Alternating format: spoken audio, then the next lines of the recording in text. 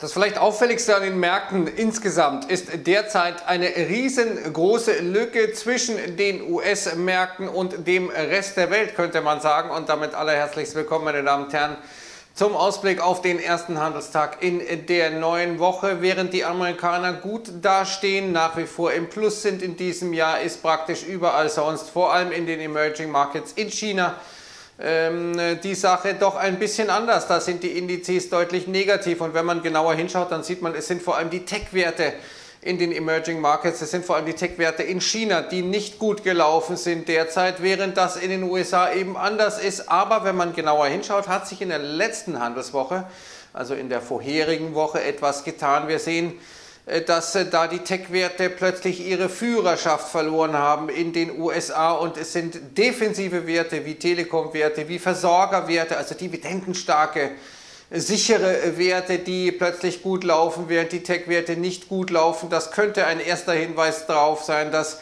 möglicherweise diese Riesenlücke ein bisschen kleiner werden wird. Es ist auch so, dass die ganze Geschichte insofern nicht ungefährlich ist, als die Anleger sehr, sehr einseitig positioniert sind. Wir haben die größte Exposure, wie man sagt, also die größte Investitionsbereitschaft, den größten Investitionsgrad in Tech-Werten das gab es zuletzt in einer ähnlichen Dimension, in einer ähnlichen Exposure im Jahr 2015 zuletzt. Also sehr stark nach wie vor alle im Tech-Sektor investiert, was die Aktien betrifft. Und wir haben, was vielleicht sogar noch wichtiger ist, äh, eine massive Shortquote bei US-Staatsanleihen, bei der 10-jährigen und bei der längsten Laufzeit der 30-jährigen Staatsanleihe. Noch nie gab es solche massiven Short-Positionen in US-Staatsanleihen. Wer short geht in US-Staatsanleihen, der erwartet einen Anstieg der Rendite, dass also die Zinsen faktisch nach oben gehen, eben weil man davon ausgeht, dass die Notenbank Fed weiter die Zinsen anhebt. Das müsste doch dazu führen, dass dann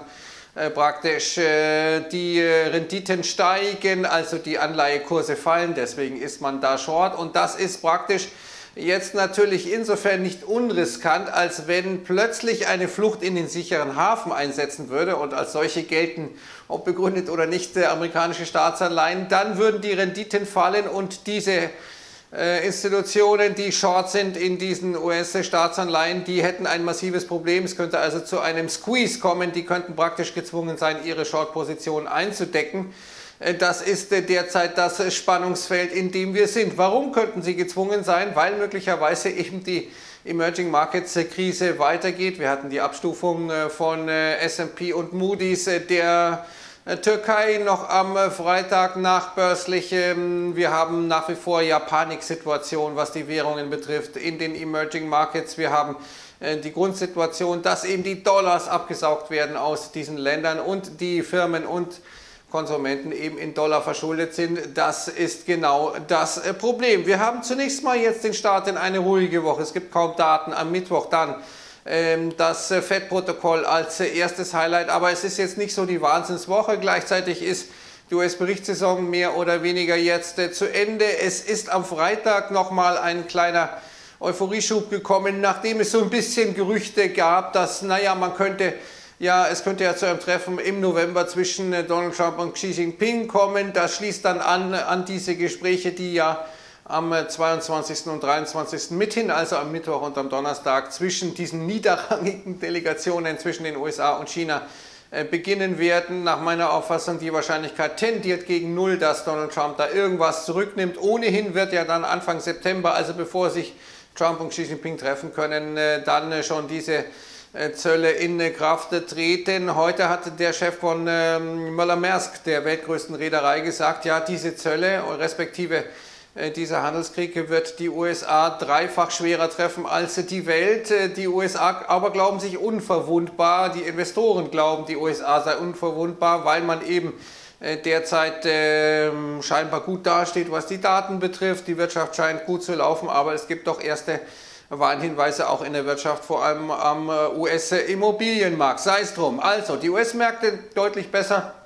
Der DAX äh, etwa deutlich äh, schwächer in der letzten Woche. Viele andere Indizes, alles was nicht USA ist, äh, deutlich schwächer. Wie geht es jetzt weiter? Schauen wir mal auf den Start, wie die Märkte in Asien sich hier halten. Hier sehen wir den Nikkei Future leicht im Minus, die Herrschaften in äh, Tokio. Da ist äh, schlichtweg vor allem der Chipsektor ein bisschen äh, unter Druck, äh, kein großes Minus, so 0,4 minus 0,4 Prozent. Heute etwas besser China. Wir sehen hier den China A50, sehen, dass hier eine leichte Erholung stattfindet. Jetzt nicht so wirklich nachhaltig. Die People's Bank of China hat wieder ein bisschen Geld in die Märkte gepumpt, die Banken aufgefordert, Exporteure hier mit Liquidität zu versorgen. Also hier erste Zeichen wieder, dass äh, China ein bisschen auf die Tube drückt, was die Liquidität betrifft. Wir haben ja grundsätzlich möglicherweise auch den Faktor, dass China ja sehr stark vor einem Dreivierteljahr etwa gegen die Schattenbanken gekämpft hat, damit äh, praktisch den Kreditimpuls nach unten gebracht hat. Das kommt mit einer starken Zeitverzögerung von etwa einem Dreivierteljahr dann eben äh, in anderen Märkten an, vor allem in den in Märkten der Emerging Markets, die ja so dringend auf Liquidität angewiesen sind, wie auch immer jedenfalls keine besonderen Gewinne, aber es ist eben so, dass der chinesische Aktienmarkt nach wie vor deutlich schwächer ist äh, als äh, die Amerikaner. Was wird der DAX aus der ganzen Geschichte machen? Wir dürften um und bei, naja, 12.230 reinkommen, da wo wir am Freitag rausgegangen sind, nachdem nochmal die Hoffnung war, äh, ja, es wird zu einem Treffen kommen, vielleicht im November zwischen Trump und äh, Xi Jinping, aber es ist nach wie vor eben nicht wirklich bullisch, was der DAX hier zaubert. 12,92 wäre die erste Marke, die er überwinden müsste und dann 12.490.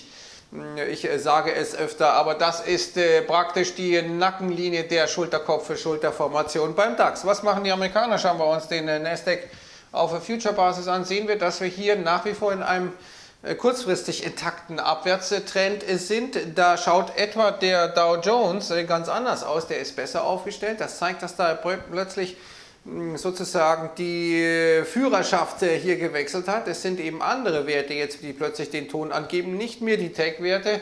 25.677 und wir haben den S&P bei 2.849. Die Wiesenseite, was ist da los? Wir haben äh, am Freitag auch gesehen, dass der Dollar wieder ein bisschen schwächer geworden ist, 1,1425 aktuell.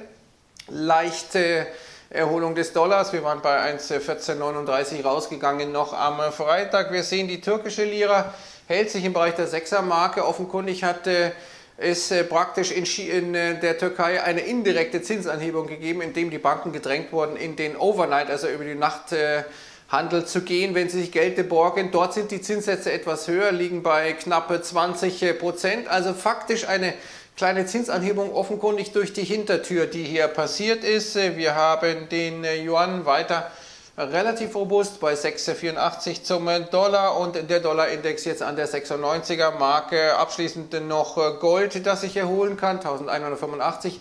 Rekordhohe Gold-Short-Positionen neben rekordhohen äh, Short-Positionen in US-Anleihen sind zu beobachten nach CFTC-Daten, also praktisch nach den Daten am Future-Markt. Wir haben Silber bei 14,76 Dollar und die Öle. Äh, WTI etwas schwächer, 65,65 Dollar und das Brent bei einem 70 Dollar. 57. Also ruhige Woche, das ist äh, zunächst mal zu konstatieren. Andererseits haben wir ähm, klare ähm, Wandlungen gesehen in der letzten Woche. Wir haben erstens gesehen, dass nach wie vor äh, es diese Divergenz gibt zwischen den US-Märkten und äh, anderen Märkten, nicht nur den Schwellenländermärkten. Wir sehen, dass Italien ein Thema wird am Anleihenmarkt, weil die Renditedifferenzen zwischen italienischen und äh, deutschen Staatsanleihen immer weiter auseinandergehen. Wir sehen, dass der Tech-Sektor in der letzten Woche seine Führerschaft verloren hat. Wir haben also sozusagen einen Late Cycle, einen Spätzyklus äh, eine Spätzyklus-Situation, könnte man sagen, möglicherweise an den Märkten. Die Amerikaner glauben sich unverwundbar. Jetzt gibt es nochmal die Hoffnung, dass es äh, diesen Handelskrieg möglicherweise irgendwie doch noch äh, zu verhindern gilt, aber die Wahrscheinlichkeit dafür ist gering. Wir haben äh, massive einseitige Positionierungen am Markt. Das ist das Gefahrenmoment im Prinzip, dass alle zu sehr auf derselben Seite des Bootes sitzen und wenn dann etwas kommt, was man so nicht auf dem Zeiger hatte, dann kann das Boot durchaus kentern. Der DAX ohnehin etwas schwächer auf der Brust, vielleicht mal mit einer Erholung, mit dem Versuch zumindest, aber übergeordnet sieht das nach wie vor schwierig aus. Also wir sind vor einer ruhigen, aber vielleicht deswegen doch äh, gerade besonders brisanten Woche jetzt in äh, dieser Handelswoche. Ich wünsche erstmal einen wunderbaren Start in diesen Montag und sage Servus und Ciao.